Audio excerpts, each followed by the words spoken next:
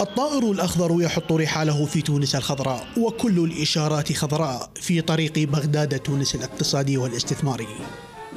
مصافحة تاريخية هي الأولى من نوعها بين رئيس الوزراء العراقي والرئيس التونسي منذ 21 عاما تبحث في مجال تعضيد العلاقات بين البلدين.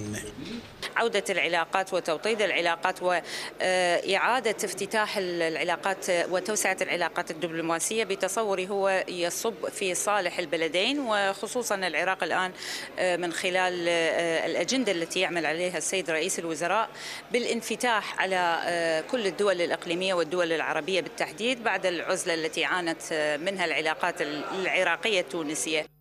هذه الزيارة استكمال لتعبيد الطريق أمام مذكرات التفاهم التي توجت في وقت ماضي برفع تونس التأشيرة عن المواطنين العراقيين واستعداد الجانبين لرفع قيمة التبادل التجاري إلى أكثر من مليار دولار.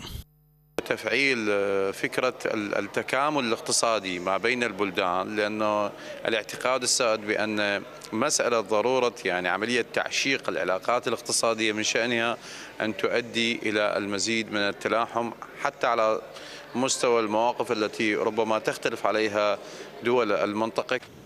لم تغب غزة عن مباحثات السودان في تونس فموضوع وقف العدوان كان حاضرا وبقوة ويندرج ضمن التحرك الخارجي للعراق في القضايا الإقليمية.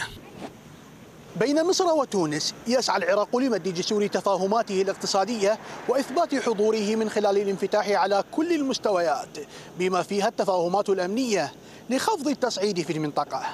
من تونس علي عبد الكريم قناة الفلوجة.